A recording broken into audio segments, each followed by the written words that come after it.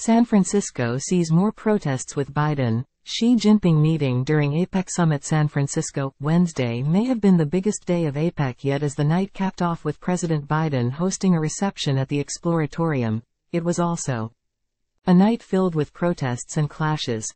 Battery Street was lined with California Highway Patrol officers as the president made his way back to his hotel after an eventful day which included a meeting with Chinese President Xi Jinping. 3rd Street in San Francisco was lined with protesters. Charles was one of those in the crowd.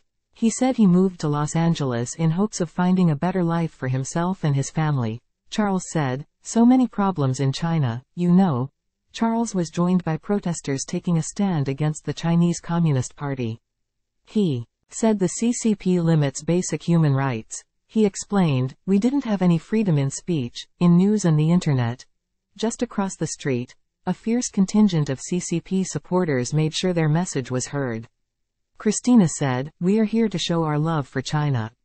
To support the president's visit, we wish China well, President Xi well and the whole Chinese people. Protesters were scattered throughout the Bay Area Wednesday. At the foot of Broadway on the Embarcadero, a call for Palestinian rights and a ceasefire in Gaza. At each protest, there was heavy security. Time equals 400 ms greater than officers from several different law enforcement agencies lined up in riot gear and tried to keep the protests peaceful.